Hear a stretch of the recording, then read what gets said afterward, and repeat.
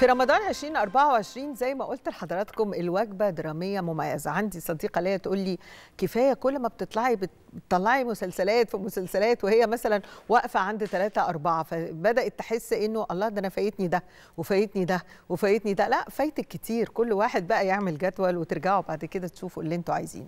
لكن لما نرجع للدراما من بين الوجوه الدرامية طبعا بتلاقي انت عندك أعمال بتجسد فترات تاريخية معينة وأساطير. كنا بنسمع عنها زي مثلا مسلسل الحشاشين اللي بيقدم الحقيقة موضوع مهم جدا عن جماعة هددت العالم كله. وطبعا بطولة النجم الكبير كريم عبد العزيز ومجموعة كبيرة من النجوم كلهم نجوم الحقيقة كمان مسلسل جودر اللي بيقدم حكايات ألف ليلة وليلة. وبصورة عصرية مميزة وأنا بقول لحضراتكم إنه هيبقى حلو قوي إن أنتوا كمان تخلوا ولادكم يتفرجوا عليه هيستمتعوا بشكل كبير. لكن أنا هرجع لضيفي النهارده اللي موجود معايا اللي خطفناه من كذا عمل. يعني أنت هتشوفه في الحشاشين بشخصية مش هتعرفه ابدا لما تشوفه في جودر ولا هتعرفه لما تشوفه في صلة رحم ولا كمان محارب. خليه هو يقول الحكاية بدأت منين وأعتقد هو ما عندوش نفس يعني في رمضان لكن عرفنا إن إحنا نخطفه. الفنان عابد عناني في ضيافة التاسعة. مساء الخير يا عابد. مساء الخير يا أستاذ شفقي. يعني أنت دلوقتي إحنا خاطفينك من إيه بالظبط؟ أنت فين من محارب. دلوقتي؟ من محارب. محارب لسه شغال لسه, لسه شغالين أيوه إن شاء الله لحد يوم السبت. فأنا جاي من التصوير وراجع التصوير يعني طيب. خلينا نبدأ من الحشاشين اللي دورك انتهى فيه. يعني الحشاشين يمكن أنت عملت الدور من فترة وكنت متخيل هذا النجاح و... وهذا ال... الإبداع اللي حاصل؟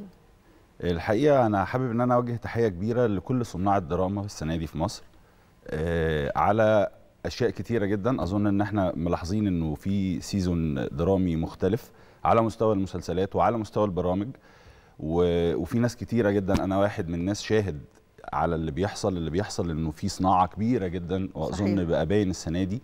فأنا بوجه تحية لصناع الأعمال بالذات الأعمال ال- الضخمة شبه الحشاشين وجودر آه على فتح الباب لنوعية الأعمال دي تاني. آه متوقع نجاح أعمال زي دي تماما. أنا يمكن بقالي كام سنة أما حد بيسألني بيقول لي إيه اللي نفسك يحصل بقول نقدم أعمال تاريخية بشكل كبير حتى لو إحنا آه، متخوفين. فهنكتشف إنه لأ إن إحنا أساسا دي لعبتنا ودي صنعتنا ودي الحاجة اللي إحنا طول عمرنا وعارف كمان يا بنعملها. عابد هي فكرة إنه مصر دي بلد الثقافة والتنوير. فأنت لما تبدأ تمسك موضوعات وتتابعها وتمسك الحكاية من الأول زي الحشاشين وتشير على جماعات هددت العالم ومتشددة ومتطرفة ويعني الحقيقة ليس لها أي صلة بأي حاجة وتبدأ تدخل بقى أجيال جديدة. إحنا دايما كنا نشوف الأفلام التاريخية واحد اتنين تلاتة أربعة مسلسل اتنين تلاتة أربعة ما عندناش ويفضلوا يتعادوا يتعادوا. فدي فرصة إن إحنا نروح لأجيال جديدة بقى. الحقيقة فعلا إنه كان يعني إحنا كان واجب علينا إن إحنا نبتدي نعمل أعمال زي ده زي دي لأنه آه، ما كانش فيه في الفترة الأخيرة على الأقل من باب التنوع. إحنا كان في موضة بتطلع بنوعية أعمال معينة بتركيبة أبطال معينة بتركيبة شخصيات وحواديت معينة فبتبتدي زي اللي كان بيفتح محل في حد بيقلده ويفتح محل زيه بالظبط. فابتدى يسود نوعية أعمال شبه بعض. آه، في اتجاه واحد سواء أنا مش مش ضد أي اتجاه بس ما كانش فيه عندنا تنوع. فإحنا كنا مميزين في النوعية دي في نوعية الأعمال التاريخية اللي بت... اللي بتستند. إحنا كان عندنا ده موجود. أنا وأنا طفل كنت بقعد أتفرج بشكل شبه سنوي على كذا مسلسل من النوعية دي. ف... فإحنا كنا مقصرين شوية في الحتة دي. فأظن إنه الاهتمام السنة دي بالتنوع أوجد مساحة للأعمال اللي زي دي إن هي تبتدي هنشوف حاجات كتاب. كبار كتاب كبار يتن- يناقشوا. مواضيع مهمة زي أستاذ عبد الرحيم كمال وزي أستاذ أنور عبد المغيث وزي غيرهم كتير جدا. يعني قصدوا السنة دي انه يبقى في أعمال متنوعة. قول لي بقى دورك بقى في الحشاشين. أنا في الحشاشين كنت بعمل دور قتلوك بدري قوي آه قتلوني في الحلقة الثالثه آه. أيوة. كنت بعمل شخصية نزار ابن المستنصر. أيوه. و... والحقيقة هي شخصية يمكن تواجدها ما كانش كبير جدا آه، لكن بس هو هي بنى عليها. بالظبط هي الصباح. هي هي شخصية مفصلية جدا في حدوتة حسن الصباح و... و...